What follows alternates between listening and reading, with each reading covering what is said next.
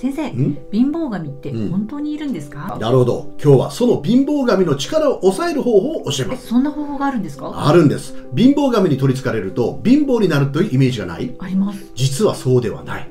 実は貧乏神はあなたに悪い出来事が起きるサインを教えてくれる神様。えサインですか？そう。ではそのサインとは何なのか？それが苦しみや悲しみや憂いや恐れといったネガティブな感情。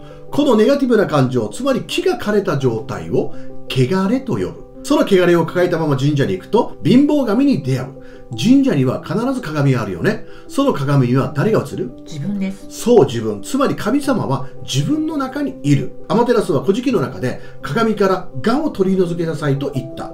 鏡から我を取ると神となる。そう。この汚れを取り除くことこそ神のような生き方という意味。つまりあなたが笑顔だからあなたの周りに笑顔がある。すべては自分から始まっているんです。